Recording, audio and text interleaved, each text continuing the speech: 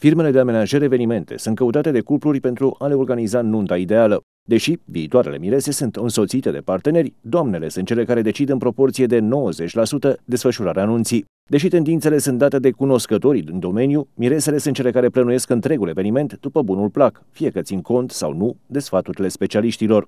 În 2016 am înțeles că culoarea care se poartă este marsalar, o culoare nu foarte potrivită, nu se potrivește cu orice. Să înțeleg că doamnele decid în principiu când vine la dumneavoastră un cuplu.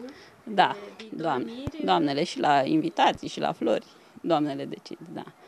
Mai au și bărbații un cuvânt de spus, dar el, ele, ei nu prea au răbdare. Invitațiile clasice nu mai sunt la mare căutare, locul acestora fiind luat de invitațiile amuzante, căutate de cuplurile tinere. Pentru mirese însă, cea mai importantă este rochia de mireasă, iar anul acesta se poartă în continuare culoarea ivoar și rochile cu broderie sau dantelă și voal lung. Care sunt tendințele în materie de rochii de mireasă pentru anul 2016? Nu există o tendință. Fiecare mireasă și a ce îi place prințesă, sirenă, uh, în format de A, cele mai mult se vând prințese.